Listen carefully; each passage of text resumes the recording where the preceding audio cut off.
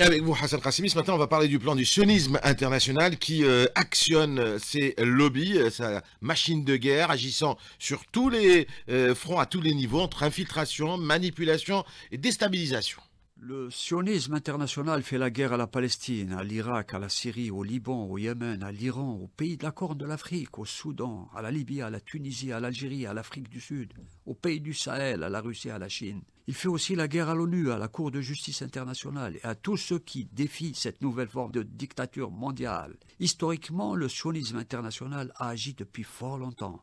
pour intégrer l'élite juive dans l'aristocratie européenne, pour prendre le contrôle du commandement de l'Europe, comme cela a été fait aux États-Unis, et c'est le même processus rampant qui se déroule en Afrique et dans le monde arabe.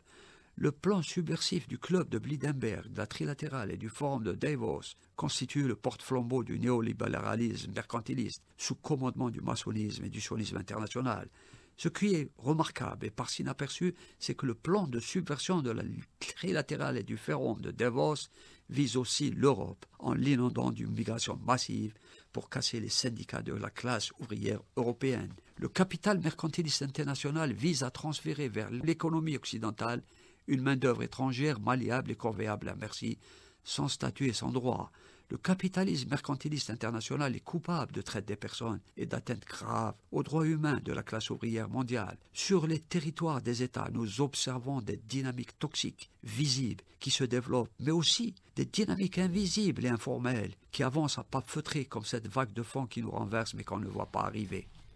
La traite des personnes, les flux migratoires, c'est aussi une arme de déstabilisation qu'exploite euh, sans scrupule le sionisme international, exploitant la détresse des populations vulnérables pour en faire des déclencheurs de crises frontalières. La main de l'État est lourde et les sanctions sont fortes et dissuasives. L'article 40 stipule que la traite des personnes est punie d'un emprisonnement de 5 à 15 ans et d'une amende de 500 000 à 1 500 000 dinars. Combien de fois l'Algérie a été ciblée intentionnellement et injustement par des partis étrangères hostiles à notre pays sur le dossier de la traite des personnes, reprochant à l'Algérie des manquements en matière de lutte contre ce fléau criminel?